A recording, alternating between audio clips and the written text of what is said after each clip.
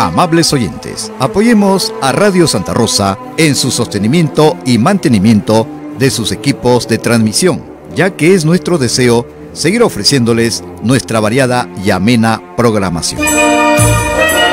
Principalmente el rezo del Santo Rosario, entre otros programas religiosos. Sus donaciones a la cuenta del Banco de Crédito, Sociedad Dominica de Medio de Comunicación Radio Santa Rosa, cuenta soles, número 193 22 00 35 30 87. Cuenta dólares 193 219 565 1101.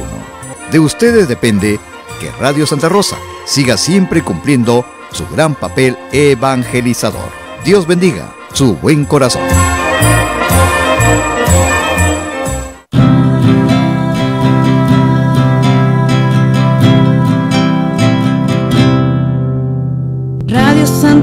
Está, la primera radio católica de nuestra comunidad.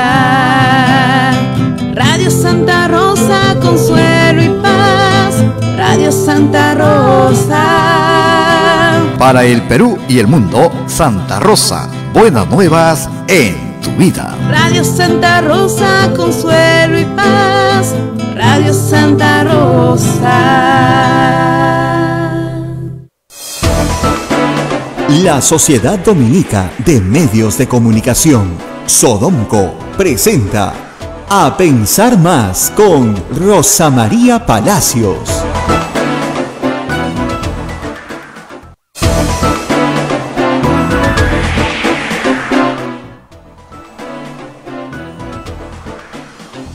Muy buenos días, señoras y señores. Bienvenidos a Pensar Más con Rosa María Palacios a través de la Sociedad Dominica de Medios de Comunicación. Nos escucha a través de la red Sodonco en Lima, es Radio Santa Rosa, en Chimbote RSD Radio Santo Domingo, en Arequipa Radio San Martín, en Ucayali Radio Cepagua, en la Convención Radio Quillabamba y en Puerto Maldonado Radio Madre de Dios son emisoras dominicas del Perú. También hay una red de emisoras amigas que nos acompañan en Huánuco, Radio Huánuco, en Ayacucho, Radio La Voz de Ayacucho, en Puno, Radio Pública y Radio La Decana, en Ancash, Radio Moro, en Huancayo, Radio Cumbre, que es la radio del arzobispado de Huancayo, en Satipo, Radio Milenio, en Abancay, Radio Estación Solar, el Vicareto Apostólico de Yurimaguas nos escucha por Radio Oriente, en Cajamarca, Radio Los Ángeles, Apumaquisterio, y también AM Tawa nos pone en podcast en todo el Perú y el mundo. Tenemos las plataformas digitales y la... Eh, los aplicativos móviles como también la página web de Radio Santa Rosa www.radiosantarosa.com.pe donde usted también tiene mucha información. A esta hora son las 8 de la mañana con 2 minutos, es el día 67 del aislamiento social obligatorio y ya nos contactamos con Rosa María Palacio. Rosa María, muy buenos días. Muy buenos días, Abel. Muy buenos días a nuestros oyentes en Lima y en todo el Perú y por supuesto en el mundo entero donde también nos escuchan por muchas vías. Bueno, contarles que en esta mañana fría y oscura limeña, parece que estuviéramos en medio del invierno, todavía estamos en mayo, estamos preguntándonos muchas cosas, Abel. ¿Salimos o no salimos? El lunes. Mm, ah. el problema es el siguiente yo nos tenemos que reír porque no nos queda otra, pero el um, domingo cumplimos 70 días, 70 días encerrados. Setentena. Así es, setentena. Y no de pendones como el Cid Campeador, no.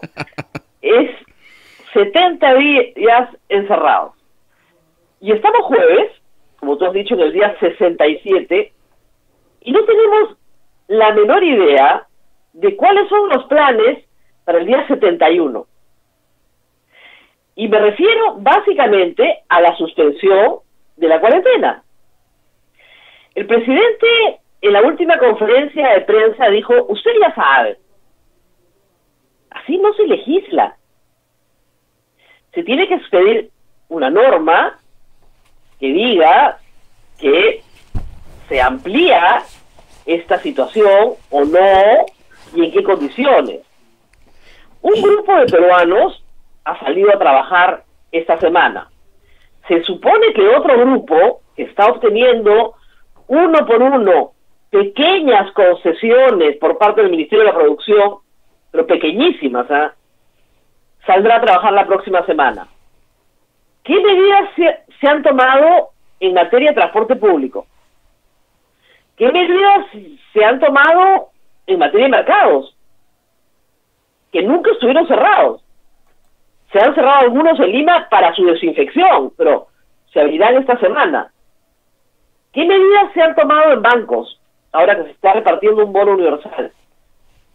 Porque si estaba mal antes, ahora tiene que estar peor. ¿Qué medidas se han tomado respecto al número de contagios y el número de fallecidos? Y me explico. El eh, presidente dijo la semana pasada que el Perú había llegado ya a una meseta y que los casos iban a decaer en los próximos días. Eso no ha sucedido. Entonces, nos quedamos. ¿Cuánto le cuesta eso al PBI? ¿Por qué hay actividades que no significan riesgo alguno para la salud y no se pueden realizar? ¿Por qué hay regiones del Perú donde no hay problemas? El número mayoritario de casos se concentra en cinco regiones. Y en esas regiones que tienen mucho menos casos que Lima, por ejemplo, no se pueden desarrollar actividades productivas que sí se pueden desarrollar en Lima. Con grave daño a la economía de las familias, a las cuales no se tienen en consideración desde el Ejecutivo. Son muchas preguntas a, a ver que no están siendo contestadas. Y el problema, hay que decirlo, es que el presidente del Consejo de Ministros no quiere ir a hablar de estos temas la próxima semana al Congreso.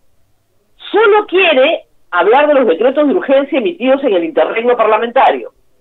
Que pueden presentar algunos problemas, pero este es un trabajo ya finalmente de verificación y control del Congreso.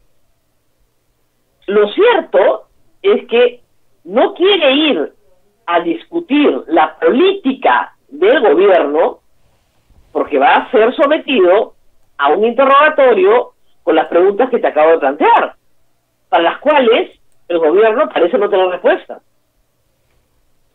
Y no digo que lo que el Congreso esté haciendo en materia legislativa esté bien, por el contrario, es peor que la pandemia. Tenemos un problema muy grave, tenemos un Congreso que en lo económico es mayoritariamente socialista. Y creo que nadie se da cuenta. Si tú sumas FREPAP, UPP, Frente Amplio, estás hablando de proyectos socialistas, francamente, eh, ¿cómo les digo?, tributarios de políticas como las de Hugo Chávez o las de Cuba. Estamos hablando de grupos políticos que tienen una agenda económica de corte socialista. Y luego tienes otros que asumen esa misma agenda por razones mercantilistas, para satisfacer grupos de votantes en una próxima elección, como Acción Popular, como Alianza para el Progreso, y sumados todos estos votos, o Fuerza Popular, sumados todos estos votos, tienes el Congreso completo. Hay que entender que hay un voto socialista en lo económico que se ha consolidado en el Congreso. Y eso es peor que la pandemia. Porque imagínate que a una crisis sanitaria le traigas el primer gobierno de Alan García. Porque todas las medidas que estamos viendo es como si hubiera resucitado a Alan García en su primer gobierno. Son igualitas. Control de precios, medidas contra el agio y la usura, control de intereses, este, eh, actividad productiva del Estado, igualito a los ochentas, cosa que los que ya tenemos más de 50 años vivimos. Entonces, la fiscalización que hace el Congreso de la actividad del Ejecutivo es correcta. Todo Estado necesita ese contrapeso. La contrapropuesta del eh, legislativo en materia económica es mucho peor que la del Ejecutivo, sin duda.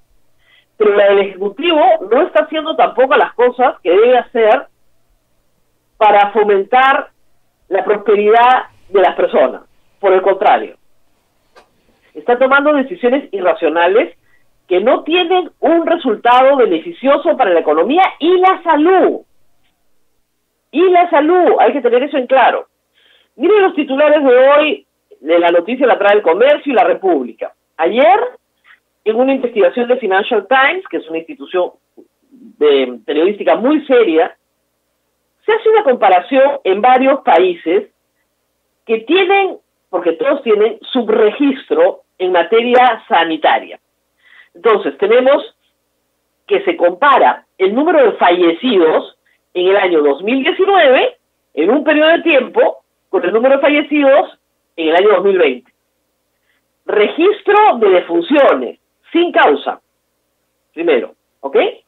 Entonces, resulta que hay un número muy superior de fallecidos en el mismo periodo de tiempo de un año a otro. ¿Eso qué te indica? Que hay un evento, un evento extraordinario, un evento que ha sido eh, significativo en la salud pública y que altera eh, muy significativamente el resultado. ¿Cuál es ese evento? El COVID. En el Perú se han registrado 3.000 muertes por COVID. Resulta que la diferencia en ese mismo periodo de tiempo es 9.000. Les faltan 6.000. Ahora, esos 6.000 pueden responder a un subregistro que el mismo gobierno reconoce que existe. Y lo ha reconocido ya varias veces. Un subregistro por razones burocráticas y un subregistro porque no se identificó al paciente adecuadamente mientras estuvo vivo y cuando falleció no se le hicieron las pruebas. Entonces, ese subregistro, cosa que ocurre en todos los países, te distorsiona la cifra, la cifra total. Pero hay un tercer elemento que no es poca cosa, que es el número de personas que han muerto por razones distintas al coronavirus, pero que no han podido ser atendidas por la salud pública en razón de la atención que ésta le presta al coronavirus. Eso es muy serio. Es decir, no solamente está matando el coronavirus, sino que está matando la desatención a otras enfermedades. Y si tú comparas la cifra de 3.000 muertos versus la cifra de 9.000 muertos, la desatención puede estar matando más. Así de grave. La cuarentena sirve para que no explote el número. Y ese objetivo se ha conseguido. Pero ha derivado en muertes de personas que no han sido atendidas correctamente y que pudieron haber sido salvadas en tiempos normales. Ahí puedes incluir a todos los pacientes cardíacos que no hicieron sus controles, a todos los diabéticos que no hicieron sus controles, a todas las pacientes que se dializan, que no hicieron correctamente la diálisis, en fin, cualquier otra emergencia o enfermedad crónica desatendida durante los dos meses de la cuarentena. Así de grave. Entonces, la cuarentena también tiene costos en la salud, porque desatiendes otras enfermedades crónicas. Y la gente también se muere de otras cosas, no solo de COVID. Una enfermedad que, dicho sea de paso, tiene el 80% de los pacientes asintomáticos. Las cifras del Ministerio de Salud de ayer han dicho que el 80% no tiene ningún síntoma. Y no se hace la prueba porque no tiene ningún síntoma. ¿Tú te imaginas el número real? 100.000 son los identificados hay que señalar que sí, que el Perú se hace más prueba que, el resto de Latinoamérica y por eso tenemos 100.000 identificados. Pero el número real es infinitamente mayor. Hoy hay un reporte de la República de una epidemióloga que dice que puede ser de 10 a 30 veces más de lo que se detecta. O sea, podríamos tener un millón de infectados sin ningún problema en este momento en el Perú. Y hasta 3 millones de infectados según esa información hoy día publicada en la República.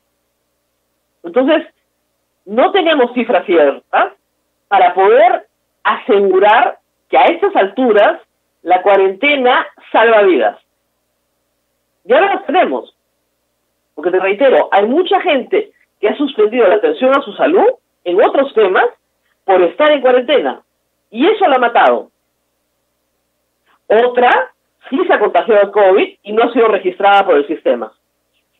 ¿Cuántas cada una? No lo sabemos. Pero tenemos un problema de salud pública. Porque tú no puedes tener 9.000 muertos más que el año pasado si es que no reconoces que tienes un problema de salud pública más allá del contagio. Y sobre eso también tiene que responder el Ejecutivo. O sea, la medida de la cuarentena, reitero, es correcta, pero se agota. Se agota en el momento en que ya no puedes atender otros problemas de salud. Y tiene que ser diferenciada, porque no todas las regiones del Perú tienen la misma situación. Entonces, estás condenando al hambre a poblaciones que están yendo a la clandestinidad, a la informalidad, porque no tienen otra salida.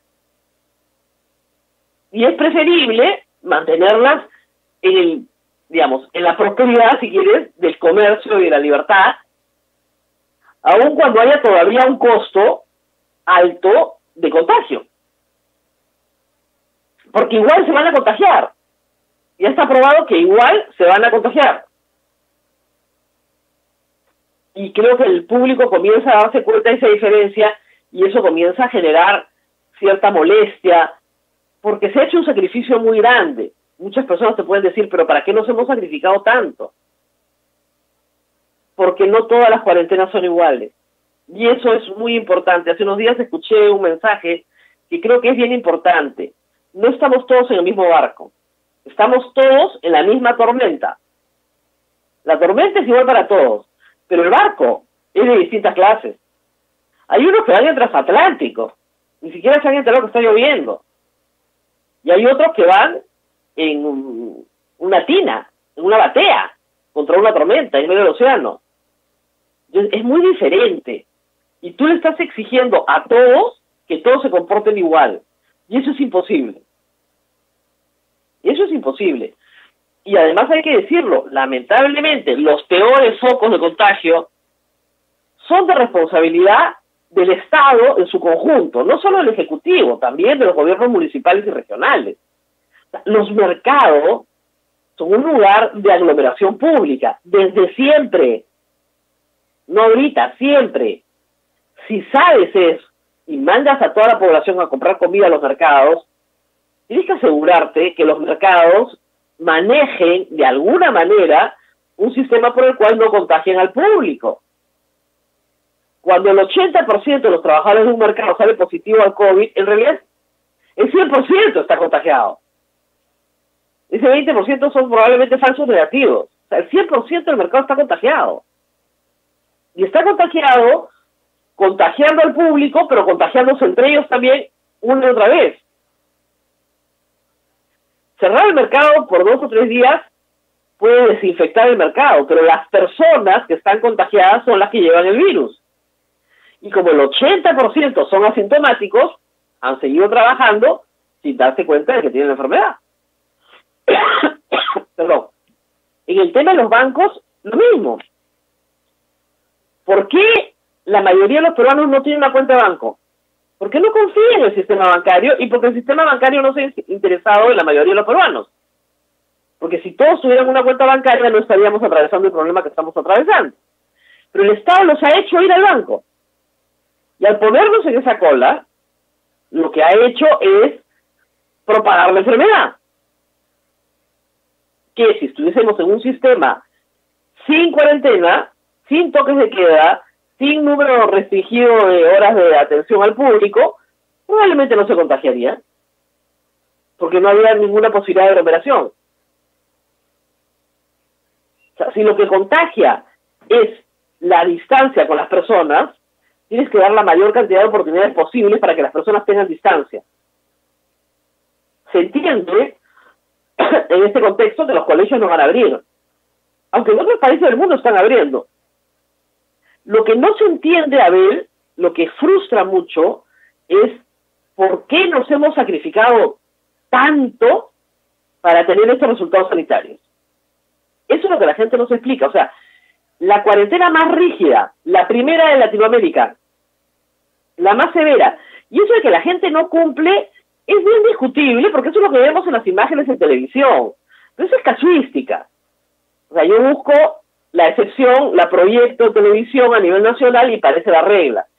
Lo que dicen las cifras de movilidad registradas en celulares, es un sistema que utiliza Google para ver la movilidad de las personas, es que el 90% de la gente ha, ha acatado la, la pandemia. En mercados, por supuesto, menos. O sea, sí se han desplazado al mercado. Pero se ha desplazado al mercado el 50%. El otro 50% no se ha desplazado al mercado. Se ha quedado en su casa. Entonces, con esas cifras altas de cumplimiento, con una cuarentena de que va a cumplir 70 días, ¿por qué tenemos la cantidad de fallecidos que tenemos hoy? ¿Y por qué somos noticia para el Financial Times ayer como uno de los peores brotes de coronavirus del mundo? Del mundo. No el peor, pero uno de los peores. Por favor, que alguien explique qué está pasando. Claro, una explicación puede ser multifactorial, ¿no? Venimos de un piso muy bajo de atención sanitaria, es verdad. Se desatendió el resto de la salud pública, es verdad, por eso hay más muertos que por otras enfermedades. Pero el sacrificio se ha hecho, es decir, has destruido la economía del país, la has destruido para salvar vidas. Y tienes 9.000 muertos. ¿no es cierto? No, no, no tiene sentido. O sea, tienes 9.000 más que lo que tenías en el mismo periodo el año pasado, porque de hecho hay otras personas que se mueren como todos los años. Hay que considerar que las muertes por accidentes de tránsito y las muertes violentas por criminalidad han tenido que disminuir por la cuarentena. Entonces, eso debería compensar, ¿no es cierto? No, y de esas nuevas, 9.000, ya, 3.000 son de COVID, y las otras 6.000, ¿de qué son? Digo, una parte, un porcentaje, no sabemos cuánto, puede ser de COVID también, supongamos la mitad, pero la otra mitad, otras 3.000, son de personas que no han sido atendidas en su salud por el sistema de salud pública. O, por, tal vez por el, el salud o por el privado o por el que fuera, ¿no? porque no había la oportunidad de atenderse.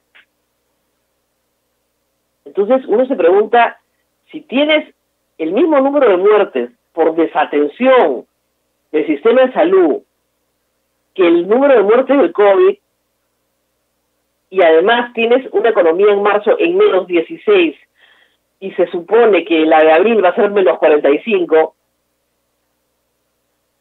puestas las cosas en la balanza, haciéndose las sumas y las restas, parece que has hecho un sacrificio inmenso por muy poco resultado.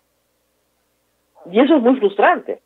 Y si es así, ojalá que yo esté equivocada, pero si es así, entonces tienes que enmendar. Tienes que enmendar. Entonces, primer asunto, no puedes atender el resto de salud. Ah, nos han dicho varias veces que ya el primer nivel va a comenzar a salir, a buscar, en algunos lugares sí, en otros lugares no. Y en los lugares donde el primer nivel está atendiendo son donde el COVID no es un asunto grave. Luego tenemos el problema económico. Y lo reitero, si el Ministerio de la Producción es, y el Ministerio de Trabajo, un obstáculo constante y hay que ponerse de rodillas para robar trabajar, es una cosa de locos, ¿ah? Felizmente somos un pueblo trabajador, nos acusarán de muchas cosas, pero ociosos no somos. Hay que rogar para que te dejen trabajar. Rogar. Entonces ya, tiene ya no tiene sentido. No tiene sentido lo que está pasando, de verdad. Cada día le encuentro menos sentido. Eh, reitero, todo el mundo al principio aplaudió la medida y yo la aplaudí también porque me parece lógico que en una situación como la que estábamos, separar el país una quincena, lo mínimo. El mes, también, razonable. Estás tratando de contener. Se empezó bien, Rosa María. Obviamente. Se, empezó muy bien. Todos los países lo estaban haciendo. Eran las recomendaciones de la Organización Mundial de Salud, que Perú ha seguido al pie de la letra, hay que decirlo. Bien, pero digamos, son 70 días. Ya vamos más de dos meses. Dos meses, una quincena. Y acá seguimos sin que el presidente nos diga si este lunes vamos a salir o no. Este lunes, estamos jueves. Y este numerito ya lo hemos visto cuatro veces. Cuatro veces. Hace un mes, acuérdate, yo muy enojada decía, por favor, denle a las personas indicaciones. Van a ir a trabajar, no van a ir a trabajar, van a abrir su negocio, no van a abrir su negocio. Indicaciones. Cero indicaciones. Hemos decidido, eso lo decían el jueves o el viernes, que el lunes seguimos trabajando. Nosotros, el gobierno, nosotros no trabajamos nada. Mira, Abel, lo que el Estado no puede controlar son millones de decisiones individuales. Millones de personas en el Perú no van a regresar a trabajar por muchos meses, porque ya lo decidieron, ya lo planificaron y lo pueden hacer. ¿Qué necesita? Normas razonables para el trabajo remoto. El Ministerio de Trabajo, te voy a explicar la historia, porque esta es una historia bien compleja. En el Perú tenemos una legislación con rango de ley para el teletrabajo. La legislación es muy mala, es casi de imposible cumplimiento, lo cual generó que el teletrabajo no se expanda en el Perú. ¿Ok? Para esta emergencia, el Ministerio de Trabajo inventó otro término, que se llama trabajo remoto. No se llama teletrabajo, se llama trabajo remoto, es otra categoría, que solo va a estar vigente durante la emergencia sanitaria, nada más. Con lo cual, un grupo de personas que ya ha organizado su vida para que pueda hacer trabajo remoto, va a dejar de hacerlo y tener que pasar a esta legislación de cumplimiento imposible. Pero de cumplimiento imposible. Entonces, por ejemplo, en el teletrabajo, para que te hagas una idea, la computadora de la cual yo te hablo, me la tendrías que haber dado tú, porque si no, no. Todos los instrumentos los tiene que proveer el empleador. Pero si yo tengo un acuerdo distinto, no, no vale. No vale. No vale. Tienes que regresar a trabajar físicamente al lugar donde trabajas. Y así te puedo dar más ejemplos. Es un desastre de legislación. No se ha modificado, no se ha cambiado porque no se ha promovido el teletrabajo. Hoy, en las circunstancias en las que estamos, debería promoverse. Y el 10% de la PEA quiere irse al teletrabajo y puede hacerlo. Con ahorro en oficinas, en agua, en luz, en transporte público, reduces el, el impacto del transporte público. Incluso puede ser útil, útil para el sector público, porque en el sector público hay oficinas efectivamente cerradas, pero otras tienen un porcentaje de trabajadores en teletrabajo. Por lo tanto, sí parece razonable sacar legislación para que esto se convierta en una tendencia permanente laboral. No, eso no está haciendo el Ministerio de Trabajo. No le interesa. No le interesa. Quiere esta concepción eh, ¿cómo te explico?, tradicional del empleo, de la cual no quiere salir, en medio de una crisis de empleo, con millones de personas perdiendo el empleo. Entonces, no estamos viendo hacia adelante. Hay otras decisiones individuales. Muchas personas no mandarían a, sus hijos al colegio, así abran los colegios. Porque consideran que es peligroso. Y están en todo su derecho como son sus padres la obligación constitucional es darle educación a tus hijos. Tienes que hacerlo. Pero puedes suspender este año porque consideras que las condiciones no son las adecuadas. Y esas son decisiones individuales. Esas son decisiones individuales, dolorosas, costosas, pero decisiones individuales en las que el gobierno no puede hacer nada. Otras personas deciden que efectivamente pueden manejar su negocio y dar empleo en condiciones sanitarias óptimas. Y lo pueden hacer, y lo quieren hacer, y lo quieren hacer formalmente. El Estado no se lo permite. No saben hasta cuándo, porque no saben si son fase 1, 2, 3, 4. Y las fases no se están cumpliendo. Porque para mayo tendría que haber salido todos los restaurantes. No, solo algunos. Mira, hay gente que presenta unos protocolos complicadísimos y se los rechazan. Las suspensiones perfectas, me contaban ayer, que están rechazando eh, suspensiones perfectas por cosas como que el archivo de Excel no entró dentro del formulario. ¿De verdad? No, rechazado. Un archivo que no pedía la norma, pero que tú añadías porque te parecía interesante que conocieran más información. Rechazado. No, es, de locos. Es enfrentarte a una burocracia absolutamente indolente que está decidida a quebrar al país. Es una cosa de loco, de locos. Y así estamos. Así estamos, Rosa María. Pidiendo permiso para trabajar. Para, para información de nuestros oyentes, Rosa María, eh, porque preguntan eh, cuál es el artículo y es el Financial Times, ¿verdad? Exactamente. Buscan, pongan Financial Times en Google. Sí. ahí sale. Y ahí sale, sí, lean ustedes.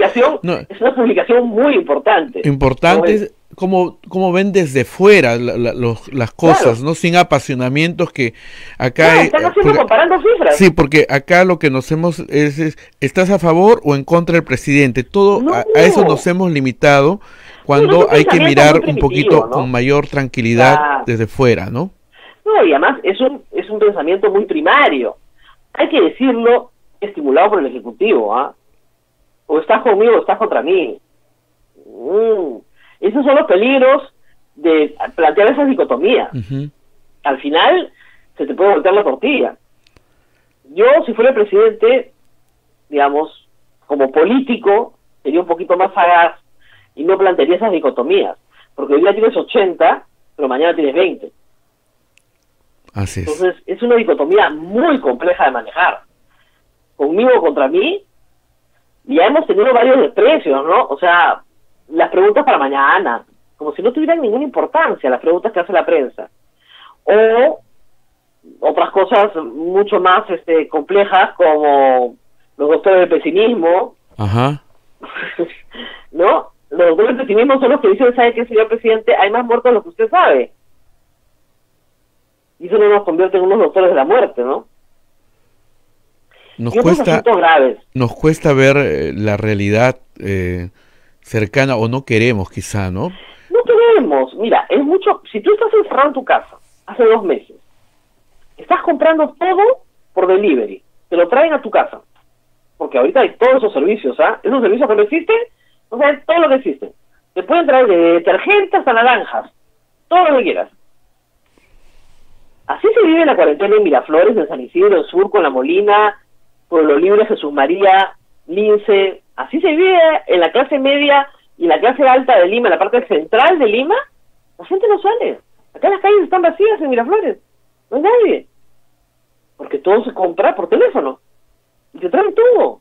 Todos los servicios que quieran. Entonces tú dices, ya me sacrifiqué, me han reducido mis ingresos, estamos pasando efectivamente una situación económica difícil. Bueno, seguimos hasta el final, pues. Si nos hemos equivocado, persistamos en el error, pero hasta el final.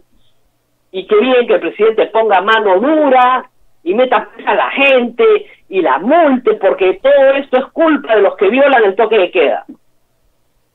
Como si tú caminando solo por una calle vacía te pudieras contagiar. No resiste ninguna lógica. Las personas que caminan solas por la calle no tienen cómo contagiarse. Porque no hay otro ser humano que esté contagiado al lado de ellos. Estos se contagian de persona a persona. Si no hay personas, no hay contagio. Y claro, es que los mercados eh, son sucios. Siempre han sido sucios. ¿Dónde han estado los alcaldes para limpiarlos? Pero una cosa es cuarentena en transatlántico y otra cosa es cuarentena en medio de la tormenta en una batea en medio del mar. Es bien diferente, bien diferente, no es la misma cuarentena. ¿cierto? Una cosa es cuarentena, como te digo, este, en una casa de tres pisos, ¿no es cierto?, este, con jardín, donde están tres personas, y otra cosa es estar afinado en una celda en un penal. Bien diferente. bien diferente. Y el problema es que desde el pedestal en el que se habla, se le exige a todos que todos se comparten se comporten de la misma manera. Y no va a ser posible. No es posible exigirle a la gente que no coma. No puedes. El bono que se está repartiendo esta semana se ha demorado un mes en llegar. Reactiva Perú no llega a las pequeñas empresas, que son intensivas en mano de obra. Son miles, en realidad, millones de microempresas que dan empleo a 5 o 10 personas que representan casi toda la pega peruana. A ellos no hay. No ha llegado reactiva. La cantidad de quejas que tengo de gente que te dice, además, la ministra de Trabajo ha dicho que si tú pides el préstamo, ya no puedes poner suspensión perfecta. Y te rechazan. Te hacen informalidad. Te hacen informalidad. Otros canales. Otros canales de sobrevivencia. Sales del sistema. Porque en el sistema no puedes. Entonces, la pandemia va a arrojar probablemente a un 10% más de la pega a la informalidad. Ese va a ser, al final de cuentas, después de la epidemia, el resultado. Mucha más informalidad. Porque la rigidez del Estado, en estas circunstancias, que debería ser flexible, al revés, debería flexibilizarse, no, más rígido. Más punición, más castigo, más eh, de persecución. Son como las normas que está eh, presentando varias bancadas, ¿no? Pena de muerte para todo. Perpetua o muerte, o muerte, muerte, muerte. De lo único que habla el Congreso es de la muerte. Les encanta. el fascismo es una mezcla bien rara, porque es un totalitarismo en lo económico socialista, pero en lo político completamente reaccionario. O sea, de un fascismo, pero ¿de dónde ha salido esta gente que solo quiere matar gente? Todo es muerte corruptos, pena de muerte, violadores, pena de muerte, este, feminicidas, pena de muerte, todo pena de muerte. En un país que no tiene pena de muerte desde hace 40 años, o más, no tenemos ejecuciones desde los 70. ¿Qué pena de muerte? ¿De qué están hablando?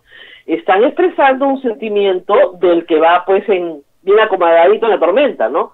Y que lo que quiere es que el resto desaparezca. A ver, tenemos una entrevista. Sí, vamos a ir a una pausa, Rosa María, y vamos a volver con un tema que, que también a, muchos oyentes no les agrada, pero hay que recordarles que nosotros sí nos agrada tocar el tema porque somos una emisora pastoral y que este, nos preocupa eh, la gente que, que, que, a la iglesia justamente le preocupa, por eso tiene una comisión de acción social de la iglesia como es el CEAS. Así es, mira, el compromiso de la iglesia y de este Papa en particular con la situación de los reos no es novedad. Hace muchos años, y en el Perú décadas, de acción social pastoral en las cárceles del Perú. si hay alguien que sabe de lo que está pasando en las cárceles, es la Iglesia Católica es un asunto que ha sido advertido y en nuestro programa muchas veces. Desde el día siguiente de Semana Santa, estamos hablando de la segunda semana de abril, hasta hoy, no ha habido día o semana en que no hemos tratado el tema. Con el inmediato desprecio de nuestros oyentes. Pero lo vamos a seguir haciendo, porque la vida humana es superior a la popularidad o a la fama que te puede dar una causa pasajera. Al final nos acercamos a los 200 muertos en el sistema penitenciario, entre reos y agentes penitenciarios. 200 muertos, de solamente mil que se han diagnosticado. Es probablemente una de las tasas de letalidad más altas del Perú en un grupo humano. ¿Quién es responsable de la vida de los presos? El Estado peruano. Nadie más. Ellos no son responsables de su vida porque están confinados, están encerrados. ¿Quién es el responsable de la vida y la salud de los presos del Perú? El Estado peruano. Y los familiares de los muertos van a llevar al Estado peruano a la Corte Interamericana. Y se va a pedir una sanción para los responsables. Tengan la seguridad. O sea, si alguien lo engañó al ministro de Justicia, al presidente Vizcarra al señor Ceballos, que se desengañen porque los van a llevar por eso a un juicio. A esta altura, advertidos con las declaraciones del presidente diciendo que se quiere indultar narcotraficantes, lo cual era una mentira. Miren, Alberto Fujimori, motín de Castro Castro. Ha sido juzgado por eso. Por orden de la Corte Interamericana y el Estado peruano sancionado. Alan García, la matanza de los penales. ¿Ha sido juzgado? Sí. Ah, él se exoneró del Perú. Pero la Corte Interamericana ordenó que se reabriera el caso del frontón. Entonces, además, ya hay este, juristas internacionales que han dicho a toda América Latina, ojo con las cárceles, porque lo que pasa en las cárceles es responsabilidad del Estado. Y esto va a ser llevado a la Corte Interamericana por graves violaciones a los derechos humanos.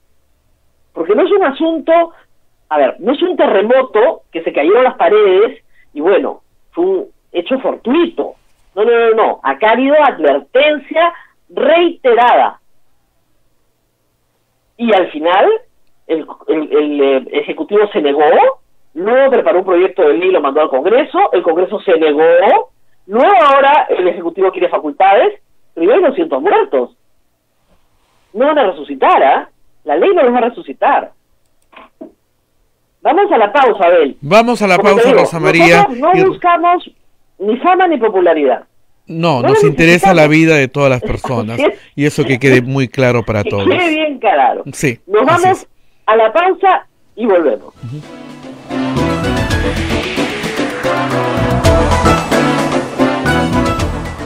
Sodomco, Sociedad Dominica de Medios de Comunicación. Somos la primera emisora católica del Perú. La primera en llevarte la mejor información, veraz y precisa, desde el mismo lugar de los hechos. Radio Santa Rosa, buenas nuevas en tu vida. ¿Quieres dejar de usar lentes? ¿Mejorar tu salud visual? Ven a Oculácer, la mejor clínica especializada en ojos Oculácer cuenta con tecnología de vanguardia en cirugías de catarata, miopía, retina y trasplante, exámenes especializados, convenios con todas las EPS. Llámanos al 265-4833 o visítanos en nuestro Facebook y www.oculacerperú.com. Oculácer, líderes en láser para la visión. Al estornudar y toser, expulsamos partículas de saliva con alta carga viral capaces de ingresar a tu cuerpo, convirtiéndose en el principal responsable de producir y propagar enfermedades respiratorias como el coronavirus. Para prevenirlas, cuando estornudes cúbrete con el antebrazo o ayúdate con un pañuelo. Si tienes las manos sucias, evita tocarte los ojos, nariz y boca. Lávate con abundante agua y jabón durante 20 segundos y evite el contacto con personas que tengan síntomas de infecciones respiratorias. Protégete del coronavirus es un mensaje de esta emisora. Santa Rosa, buenas nuevas en tu vida. Sodomco, Sociedad Dominica de Medios de Comunicación. Continuamos con A Pensar Más con Rosa María Palacios a través de las emisoras de la Sociedad Dominica de Medios de Comunicación.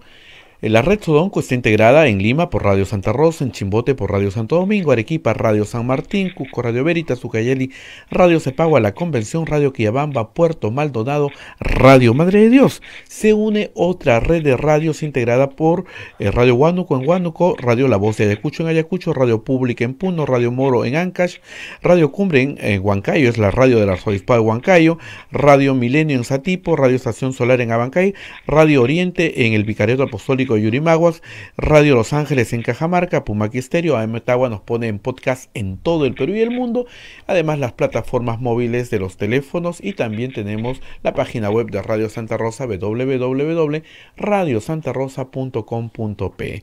Rosa María, ya estamos en línea con el doctor José Luis Pérez Guadalupe. Muy buenos días, doctor Pérez Guadalupe. Rosa María, un gusto saludarte. Eh, bueno, ¿cuál es el estado de la, de la situación actualmente en penales, para tener un panorama de hoy? A ver, eh, tenemos la poca información y poca transparencia respecto a los datos, lamentablemente. No hay en la página web del Ministerio de Justicia un avance eh, o cómo van, digamos, el agravamiento de, la epidemia. Digamos, el presidente cada dos o tres días sale y nos muestra unas cifras y asume liderazgo. No vemos ese mismo liderazgo y esa misma transparencia de información eh, en cuanto a penales. Pero lo último que nos ha dicho el ministro el día 19 es que han habido eh, ya 182 internos fallecidos. Y eso es preocupante porque nadie se percató que una semana antes, eh, en una entrevista eh, al comercio, él dijo que habían 103. Entonces, si hacemos unas sumas y restas, este, estamos hablando de más de 10 presos al día que mueren en penales. Y eso es una barbaridad repito, más de 10 presos al día que están muriendo en los penales y recién nos enteramos. Es decir, y no lo ha dicho así tal cual el, ministro de Justicia, sino que sacando un poco de información de la poca data que nos, nos brinda, eh, es, lo que estamos sacando. Ahora, ya hay 12 eh, o 13 empleados penitenciarios fallecidos aparte de los de los internos, pero lo interesante es ver la ratio que tenemos, es decir, los presos ya con esta información representan, los internos representan el 6% de todos los muertos por coronavirus en el Perú. 6%. Pero ¿qué, ¿qué porcentaje es la población penitenciaria de toda la población peruana? El 0.3%. Es decir, hay una, eh, digamos, un aumento eh, eh, garrafal del porcentaje de, fallecidos dentro de la cárcel, lo que concluye eh, de que efectivamente el virus no era tan democrático, sino que hay poblaciones o sectores sociales, como en este caso los presos, que son definitivamente mucho más afectados por razones que podemos ver ahora, lógicamente la condición expresamente especial de, de los internos de nuestros penales. Ahora, el problema, justamente, además del hacinamiento que promueve el contagio, la mortalidad se puede explicar en condiciones, digamos, endémicas de mala salud en los penales, tuberculosis, en fin, otras enfermedades no atendidas de manera consuetudinaria. ¿Eso explicaría la mayor letalidad? Eso es por un lado, pero no, no es el único factor. Sabemos que hay 2.000 con tuberculosis, hay 6.000 mayores este, con la tercera edad, en fin, pero yo creo que hay que eh, plantear en primer lugar, digamos, frente a una enfermedad había un tratamiento, pero en el INPE solamente habían 65 médicos generales para todos los penales. Y digo habían porque muchos médicos ya renunciaron en muchos casos. Otra cosa que, que no ha salido en las noticias, ahora te voy a pasar la información, es que no se ha contratado a 70 trabajadores del INPE, no se le ha renovado el contrato y hasta fin de mes. Y ahora, si los INPEs han reducido un promedio de 30 a 50%, los trabajadores no sé por qué ahora a 70 no se les renueva el contrato, pero en fin. Lo, importante es que el sistema eh, de salud en los penales siempre ha sido precario y, y quiere indicar que hay, existen dos sistemas, el de salud y el de educación, que tenían que salir del, sistema penitenciario. Y cuando yo estuve en el INPE pude hablar en esa época con Jaime Saavedra, y Jaime Saavedra lo entendió perfectamente como ministro de Educación, y nos eh, dio todos los profesores necesarios y hicimos el plan justamente analfabetismo cero en los penales. El tema de salud también lo planteamos en el Ministerio de Salud, es decir, el INPE qué hace con una dirección de salud, una dirección de educación, no en su core competence, ¿ok? El sistema de salud en los penales también tendría que ser una función del Ministerio de Salud y eso no se ha logrado. Entonces, el sistema de salud ya de por sí es muy deficiente, pero si a esto le agregamos falta de médicos, falta de atención, falta de medicinas, eh, eh, ya tenemos el, escenario completo. Pero quisiera eh, agregar, Rosa María, si me permite, que el 27 de junio del 2019, el año pasado, el Tribunal Constitucional saca una sentencia y dice, la salud es un derecho fundamental de los presos. La relación de sujeción especial, mira la frase que usa, de sujeción especial de la población privada de libertad tiene respecto al INPE a la institución penitenciaria y esta asume la responsabilidad por la salud de los internos. Es responsabilidad de la institución penitenciaria por eh, la salud y lógicamente la vida de los internos por dos razones muy concretas que tú ya la mencionaste. Primero, la situación de hacinamiento. Es, decir, es imposible es imposible guardar la distancia social con un 140% de hacinamiento en promedio. Y en segundo lugar, porque única institución, es decir, ellos están sujetos absolutamente a lo que haga o deje de hacer el Estado. No hay posibilidad de decir, si nosotros queremos salir y arriesgarnos y nos vamos a los mercados sin mascarilla, es nuestra responsabilidad, ¿no es cierto? Y si nos medicamos o no nos medicamos, es nuestra responsabilidad finalmente. El riesgo, el asumir los riesgos. En cambio, el asumir los riesgos de los penales, no ya no es responsabilidad de los internos. Y la cura y el tratamiento tampoco es responsabilidad de los internos, porque el único, la única institución es el Estado, o sea, a través de la institución penitenciaria, proveer de los médicos y eh, Es una situación especial en los penales. Ahora, ¿qué, ¿qué cambió? A mí me tiene esto muy sorprendida. Esto que estamos conversando lo hemos conversado hace más de un mes. Al día siguiente, Semana Santa, ya había un diagnóstico, todo el mundo repetía, este es un problema grave, fue advertido, el presidente de la República lo despreció, dijo que esto era un conjunto de gente que quería liberar narcotraficantes y violadores, y lo mandaron al Congreso. El Congreso también dijo sí primero, consensuó un dictamen el viernes pasado, y a la mañana siguiente, el sábado, dijo que ni hablar, ni hablar, por razones absolutamente populacheras. ¿Por qué el Ejecutivo ahora sí quiere ocuparse del tema? Como bien has dicho, Rosa María, eh, digamos, desde el primer día de cuarentena, eh, la Defensoría del Pueblo, SEAS, eh, Marisol Peristey, mucha gente, José Ugaz, es decir, vimos lo que se venía y se le dijo al ministro de Justicia, mira lo que se te viene. Pero acuérdate que a los 10 días de la cuarentena, el ministro de Justicia lo hizo patinar al presidente y el presidente salió a decir orondamente, no hay ningún infectado en los penales del país. O sea, como si fuese un logro, ingenuamente pensar de que no iban a haber gente. Yo creo que al comienzo tuvieron eh, la, pretensión de pensar de que no iban a haber contagiados en los penales. Por eso que no hicieron muchas cosas. Al día 20, recién el ministro eh, de Justicia dice, voy a pedir a Salud que me pasen pruebas para los empleados.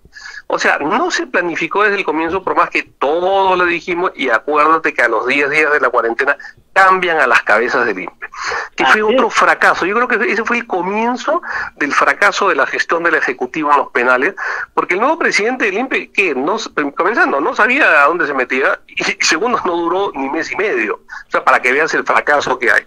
Entonces, esta ineficacia demora. Es más, todas las medidas que hasta ahora ha tomado el Ejecutivo no llegan ni siquiera a mil liberados. O sea, todo lo que ha hecho el Ejecutivo en 60 días no ha logrado ni siquiera que salgan de la cárcel ni el 1%. Y esa es la realidad que tenemos. Entonces, cuando se le dijo, señor, necesitamos medidas extraordinarias para situaciones extraordinarias, y usted tiene delegación de facultades, sacó solamente lo de los doctores eh, alimentarios, que era para 2.700 y son 700 sacó el tema de los indultos que hasta ahora van 200 o 300, ¿ok? O sea, no llegan ni a mil. Pero cuando le dijeron, señor, necesitamos otro tipo de medidas que se han dado en la gran mayoría de países, no lo hizo, no lo hizo y ahora hay la discusión si lo podía hacer o no, en fin. Entonces, yo creo que en este momento que es tu pregunta, ya estamos no solamente frente a una ineficaz respuesta del Ejecutivo, sino frente a una ineficaz respuesta del Estado peruano. Es decir, los tres poderes del Estado han sido ineficaces y aquí tampoco se, se, se, limpia de responsabilidad ese Poder Judicial. El Poder Judicial jugó a las escondidas 40 días.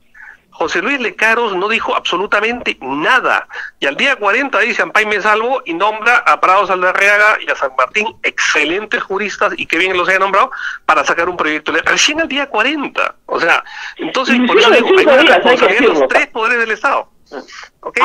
Y ahora ya lo que tenemos es el rechazo del Congreso, que en fin, que tiene que ver también mucho con, con el populismo. No tenemos congresistas, Rosa María, tenemos candidatos todos están candidateando, y cada cual más populista, ¿me entiendes? Para las elecciones este, regionales, bueno, Urresti para presidente de todas maneras.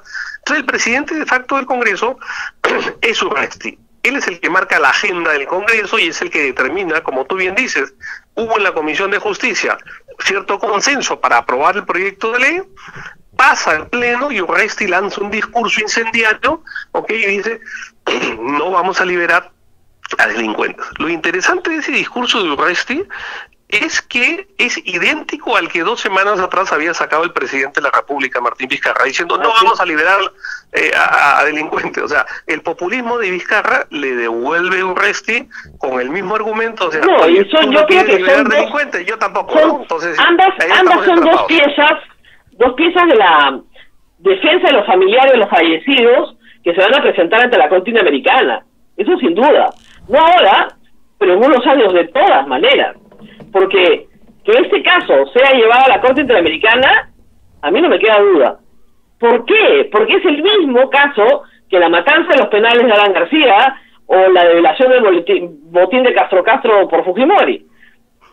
Pero con muerte lenta, ¿no?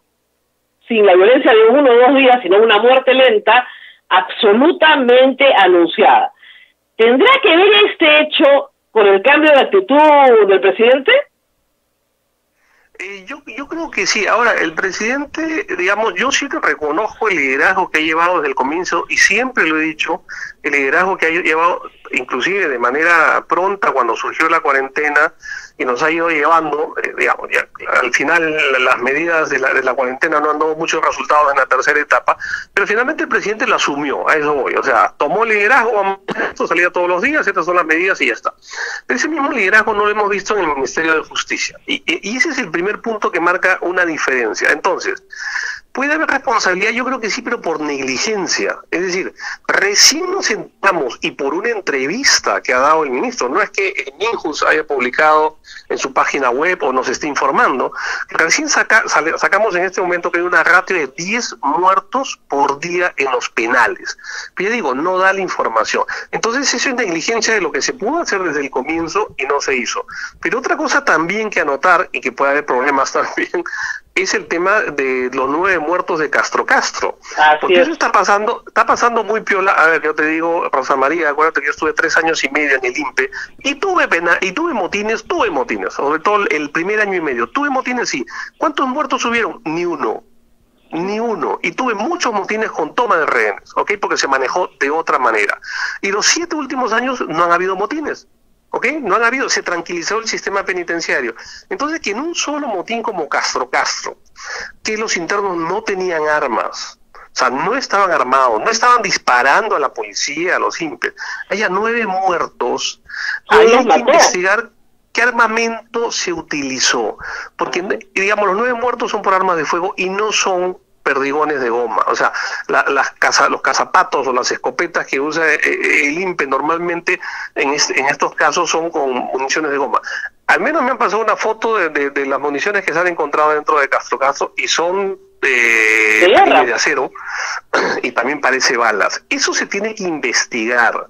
Eso se tiene que investigar y ahí sí puede haber responsabilidad penal porque, a ver, quién da la orden de ingresar y en qué momento. Repito, yo he tenido motines en cantidades y jamás aceptamos que ingrese la fuerza, a menos que estuviese lógicamente eh, con rehenes en peligro de muerte y lógicamente tienes que entrar. O sea, pero se pudo trabajar, ni un solo muerto. Y ahora, en un solo motín, nueve muertos, más los cinco muertos de, de Píxima, los tres muertos del milagro en Trujillo, entonces ya tenemos una cantidad importante de fallecidos por actos de violencia dentro de los penales, ya digo, pero habría que diferenciar los actos de los mismos internos de los actos de, de, la institución claro, pero si usted suma todo, vamos en 200 muertos sin ningún problema. Suma los agentes penitenciarios, más los reos fallecidos, más los reos amotinados y fallecidos en los motines, en estos tres, dos meses y medio, van 200 muertos. Este, efectivamente, y todavía los que se nos vienen. Y, yo creo que habría que distinguir dos cosas. A ver, una cosa son los problemas estructurales del INPE que este gobierno, como preguntó el presidente, ¿qué han hecho el año pasado? ¿Qué han hecho hace dos años? ¿Qué han hecho hace cuatro años? Oye, era su gobierno. Bueno, no hicieron mucho, efectivamente. Hay problemas estructurales que no le podemos achacar al ministro actual de, de, Justicia, ni tampoco al presidente del INPE, Gerson Villar, el... Villar el breve, ¿no es cierto?, que duró un mes y medio. Pero hay, habría que diferenciar quizás, este, Rosa María, dos curvas del aprendizaje. La primera es la que todos estamos experimentando en el mundo, en todos los países, es decir, no sabemos cómo funciona. Yo escucho cada vez a los médicos que cada día me saca una versión diferente de cómo no contagiarse, ¿ok? Todos vamos aprendiendo y diferentes versiones de cómo hay que curarse, comenzando por Trump, el especialista en medicina Donald Trump, hasta Bolsonaro que niega eh, y habla de la gripecina. Entonces, estamos todos en un proceso de aprendizaje y eso es normal. O sea, nos agarró a todos desprevenidos con esto, esa novedad. Pero hay otro proceso de una curva del aprendizaje que es respecto al sistema penitenciario en sí. Y esa curva del aprendizaje la tenía que haber superado, la tenía que haber pasado el ministro y el presidente del INPE. Y ese fue el error, es decir, nadie le está atribuyendo al Ejecutivo falla por una cosa que es inesperada y que nadie sabe cómo va a suceder. Perdón, eso ya lo sabemos. Nadie le está pidiendo al Ejecutivo que solucione el problema penitenciario de década, ya sabemos. Nadie le está diciendo al presidente que libere a delincuentes, feminicidas, corruptos y asesinos, nadie. Pero lo que sí, lo que sí podía hacer y lo que sí tenía que hacer como responsabilidad del Ejecutivo era por lo menos conocer el sistema, visitar penales, cosa que ni siquiera el presidente limpia y el Ministerio de Justicia no hacían y no conocían. Entonces, frente a esa segunda curva del aprendizaje, sí cabe una responsabilidad directa del Ejecutivo. Ese es, ese es el problema. Ahora, ¿por qué ahora sí está interesado? No yo, entiendo. yo creo, yo creo que recién ha visto el panorama. Yo creo que ha tenido mucha información solamente sesgada de su ministro de Justicia, que repito, no quiso ver el problema, se negó y no quiso aceptar lo que le estaba diciendo todo el mundo. Y recuerda que, mira, al día casi 40 de, de la cuarentena, recién el ministro de Justicia cita una reunión con 30 especialistas, ¿ok? En esos 30 especialistas, este, curiosamente no estuvo Marisol Perestello, ¿ok? Eh, por supuesto no estuve yo. Claro, los de ministros de los- justicia que no le gustan, no le gustan. Pues. Es un tema político. y, y mira, y de los presidentes del INPE de los últimos 10 años, solamente hubo uno. Es decir, entonces ¿a quién le preguntas? ¿Me dejo entender? Y esa Claro. reunión fue debut y despedida. Nunca más. Entonces, si tú no conversas con la gente que conoce, y, y te digo de dos instituciones nada más, es decir, Defensoría del Pueblo, SEAS y también los sindicatos, los trabajadores del INPE. Es decir, los trabajadores del INPE son los que están el día a día en los penales. Ellos son los que saben, saben más que las arañas. O sea, se habla de penales, llámate a los trabajadores, me dejo entender. No, es un escritorio. Me acuerdo el motín de, Piedras Gordas, eh, cuando hubo y el presidente INPE hablaba de su escritorio y dice, me han informado, no sé qué, me han informado, no sé. ¿Cómo que me han informado? O sea, tú tienes que estar ahí primero, ¿me entiendes? En el lugar con tu gente. Y ese fue otro error que no sintió a los trabajadores del INPE como tu gente. Es decir, el Estado en este momento, por ejemplo, ¿a quién resguarda y tiene que resguardar primero? A sus médicos, porque están adelante, en la primera línea. Y claro, aparte de la patinada del ministro Zamora, que ya se rectificó y que me parece que también hubo, hubo de- de- demasiado y demasiado ruido sobre, sobre las palabras infelices del, del ministro, pero bueno, ya, es tu gente, con ellos estás dando la batalla. Igual el personal del INPE era tu gente en los penales y no se les tomó en cuenta ni su opinión, ni su cuidado, ni en suministrar el equipo necesario para hacer su trabajo. Y en este momento hay un resentimiento de los trabajadores penitenciarios respecto a las autoridades y el Ejecutivo, que lógicamente, ¿qué hacen? Se están muriendo. Entonces, ¿qué sentimiento puede tener un trabajador penitenciario o que frente a sus colegas que se mueren y no ven que el Ejecutivo ni siquiera les consiga la atención suficiente? A mí llaman a mí para interceder a salud, al MINSA para conseguir un respirador. Yo no tengo ninguna posibilidad de hacerlo, Claro. más que llamar a alguna gente amiga. Entonces, se está creando lamentablemente ya toda una cultura organizacional nefasta de los internos y de los trabajadores penitenciarios frente a la administración penitenciaria en general. Ahora, en algunos lugares se han intentado cosas que han traído paz, como por ejemplo en Salita Colonia, atender la salud. Y sí se ha establecido un buen sistema de atención a la salud, que es lo mínimo, ¿no? ¿Eso se está replicando en otros penales? Creo que sí, y es lo que se tuvo que hacer desde un comienzo. Es decir, las Ah. acciones que ahora está tomando el Ministerio de Justicia no es que sean malas, sino que son tardías. Y por ser tardías, lógicamente llegan a ser ineficaces. Ya digo, en 65 días, que solamente hayan salido mil internos de los penales, o sea, menos del 1%, eso es ineficacia pura. Entonces, lo que se hizo en Sarita, por ejemplo, es una buena experiencia, se debió hacer, sí. Pero mira lo que se hizo en San Jorge, que también le recomendamos espacios aparte de los penales. Se han gastado 250 mil soles. A ver, el ministro fue varias veces, llevó las cámaras. ¿Por qué no lleva una cámara ahora al, al San Jorge como está? Las denuncias que a mí me llegan, yo no lo puedo comprobar, es que no hay baños, no hay luz en las noches, no hay atención médica. Entonces, ¿por qué la prensa, por qué el ministro no invita a la prensa a entrar a San Jorge a ver cómo está ahora? Mucho bombo cuando se estaba preparando y no han abierto las puertas de San Jorge para ver cómo está ahora. Otro punto que yo siempre he puesto como ejemplo es Lurigancho. Lurigancho se mantuvo más de un mes, o sea, después de que cortaron las visitas, mes y medio, sin contagios. Y fue un ejemplo de un penal, el penal más poblado del continente, no digo del Perú, de todo el continente. No hay un penal más poblado que Lurigancho. Y tuvieron un buen director a la cabeza que coordinó con los delegados de los internos, con los coordinadores de los internos, e hicieron su, lugar aparte dentro de los pabellones, su lugar separado en el penal, en el auditorio, es decir, se prepararon y no hubo contagios. ¿Qué tenemos ahora? Que las nuevas autoridades del INPE han cambiado el director y han traído al director de Camaná, donde ha habido un motín hace dos días, ¿ok? Para que ahora sea el nuevo director de Lurigancho. Y ya comenzaron, lamentablemente, las infecciones y las muertes en Lurigancho. ¿Por qué? Claro, si no entra la visita, entonces, ¿cuál es el canal de contagio? O sea, la pregunta, la, la población Claro. puente. ¿Me entiendes? Entonces ahí caen algunas hipótesis, o, o todas juntas, primero que puede ser el personal penitenciario mismo, o sea, con lo cual no atendiste a tu personal, te contagió sin saberlo, ¿ok? Y contagió a la población. La otra posibilidad es lo que estaba en la carceleta del mismo eh, Lurigancho, que pasado 15 días ya los pasaron a población, y puede ser que había algunos asintomáticos y contagiaron. Y la tercera hipótesis es de que efectivamente en 10.000 internos hay gente que va a, a los hospitales por diferentes razones, y hubo varios Claro. que fueron en ese momento, los de mayo, parece que ahí se contagiaron y cuando regresaron también contagiaron al resto.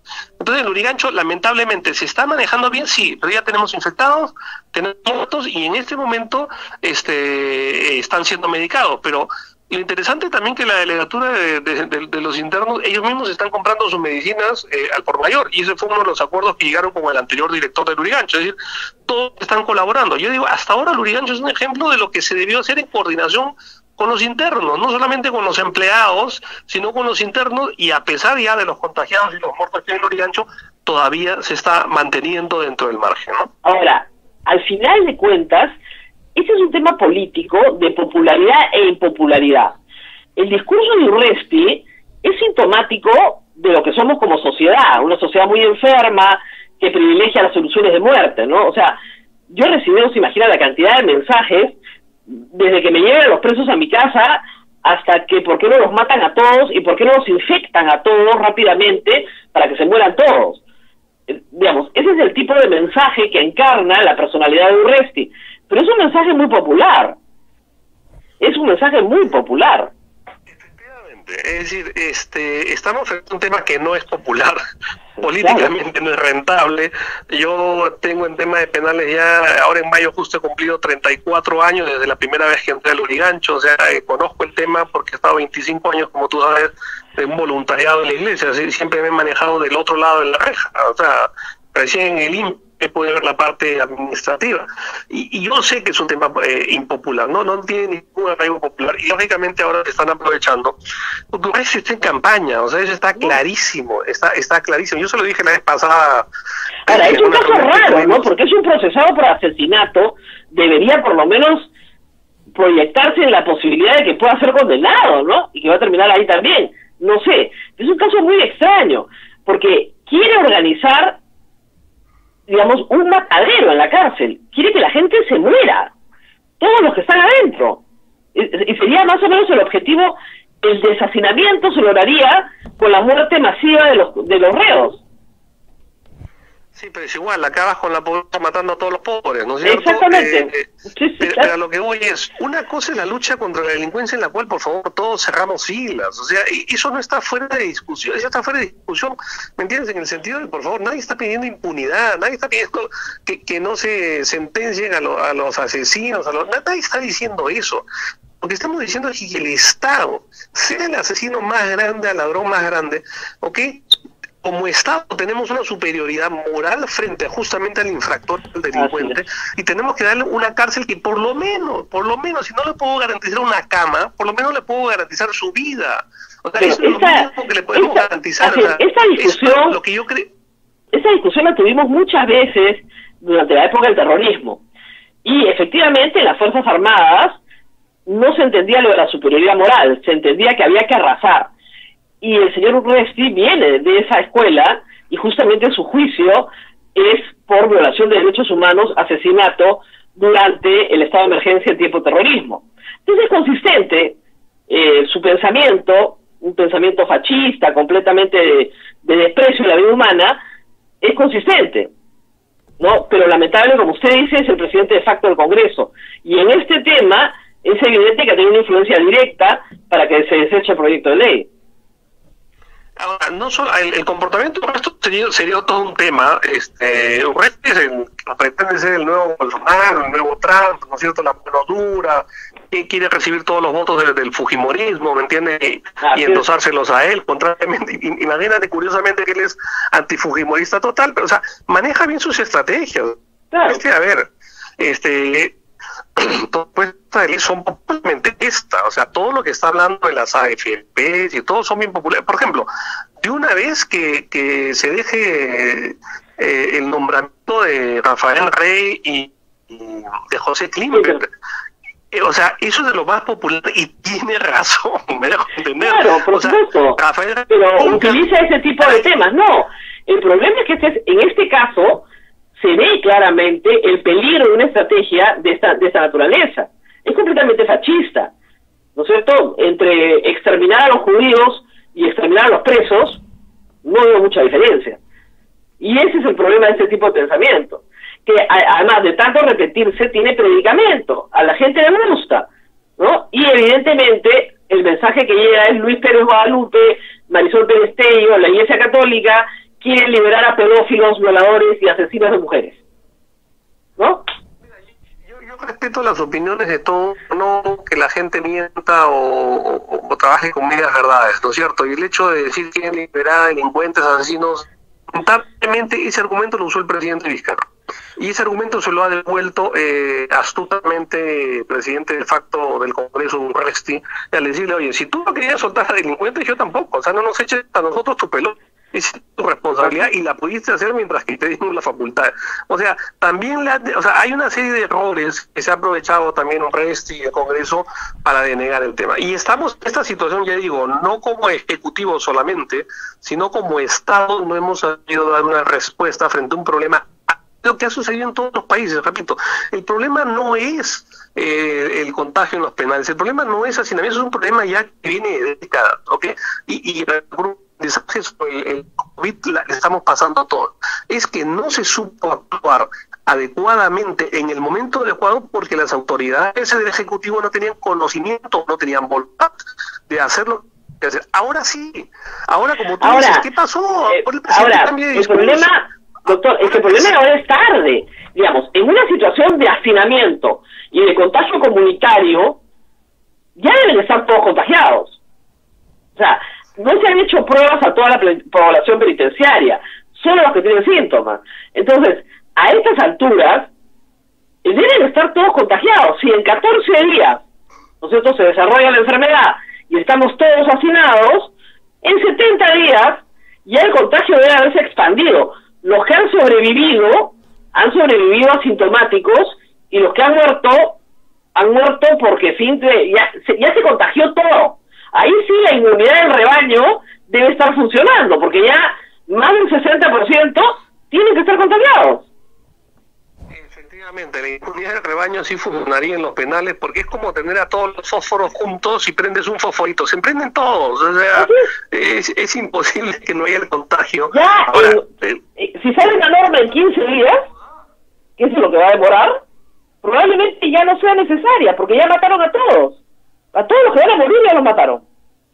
Ahora, los internos están pepeando, es lo que yo tengo en información, están previniendo, eh, claro, automedicando, y algunas sí el médico está recetando, pero lógicamente eh, todo lo que vemos idealmente que sea un tratamiento personalizado es, es, casi imposible en nuestros penales, pero así como sucedió en, Sarita, que dio resultado, están usando en otros penales también, pero también los mismos internos son conscientes de la realidad y ellos mismos están automedicando. Esperemos, esperemos que en algo funcione para que no sigan los muertos. Pero a ver, recién que nos enteremos al día 65 de la, de la pandemia, tenemos a estas alturas 10 presos muertos al día y que no hayamos sabido que se nos haya dado la información y porque una entrevista que le hacen al ministro de Justicia y comparando con lo que dijo hace una semana podamos sacar esta información, eso sí me parece grave y falta de transparencia del Mire, Ejecutivo respecto a un problema. así que todos tenemos que colaborar o sea, para menos, solucionarlo, pero no se Lo dejan que podemos esperar,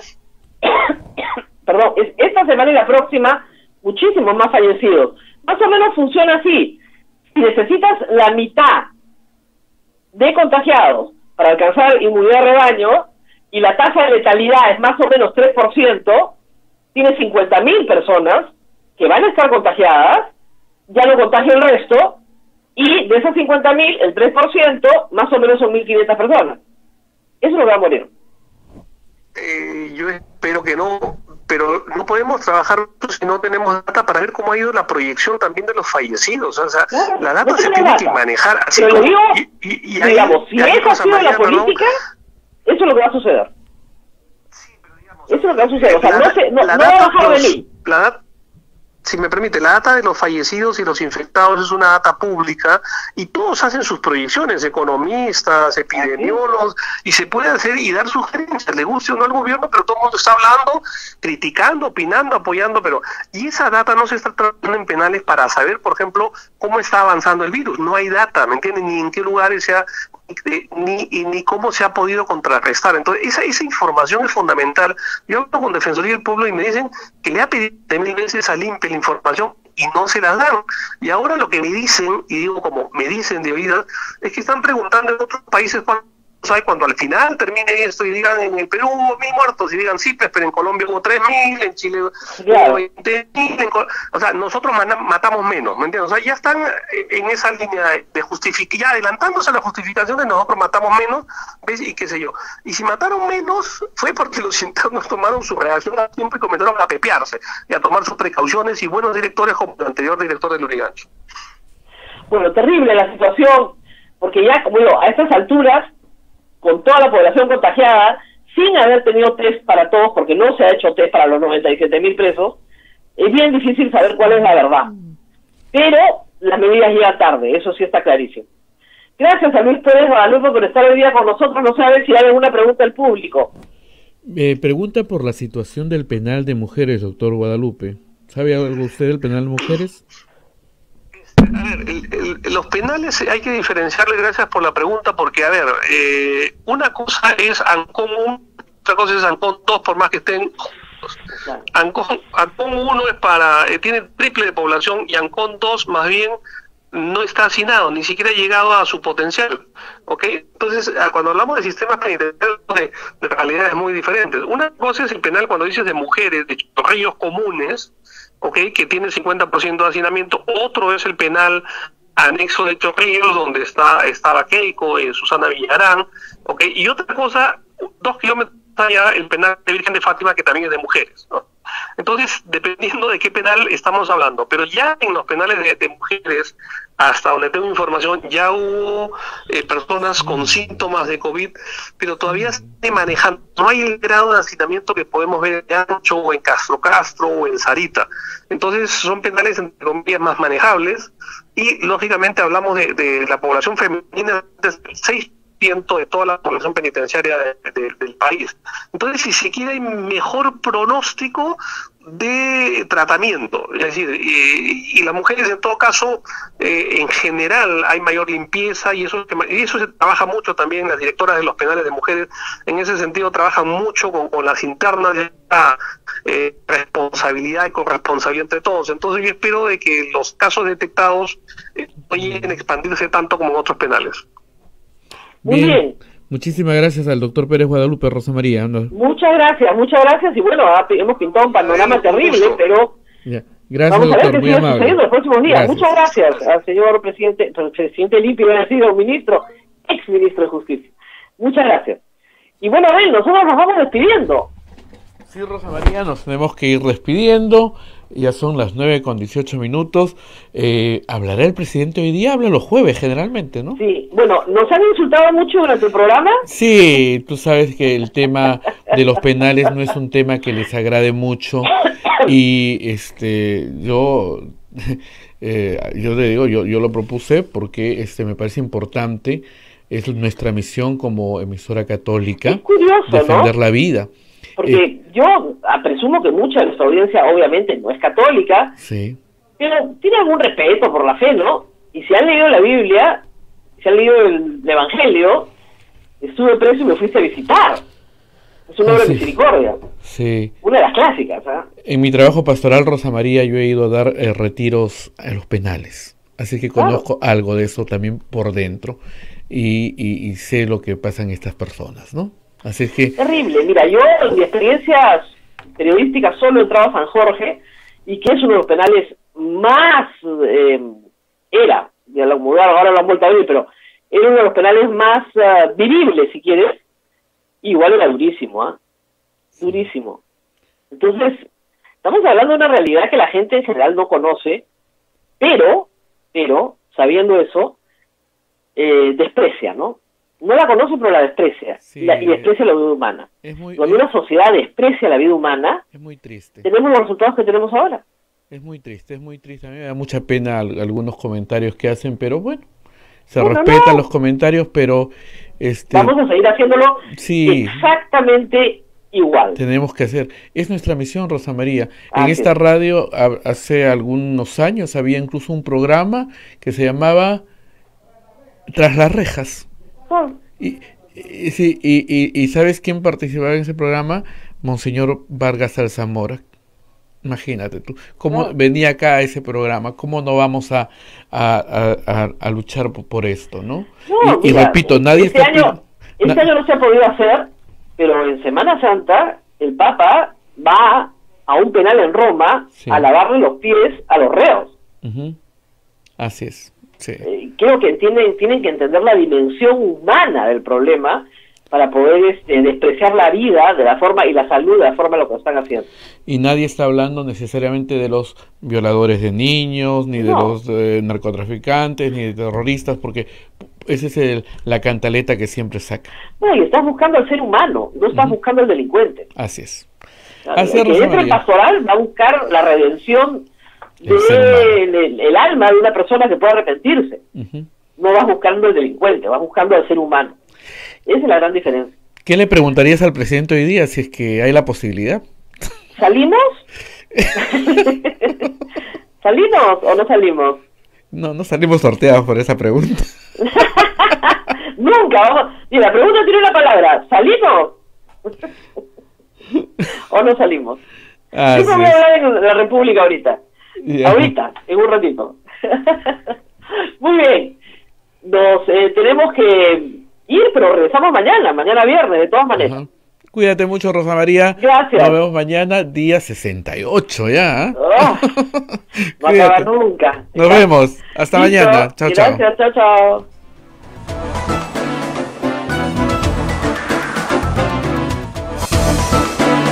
Hasta aquí, a pensar más con Rosa María Palacios. Este programa fue producido por la Sociedad Dominica de Medios de Comunicación, Sodomco.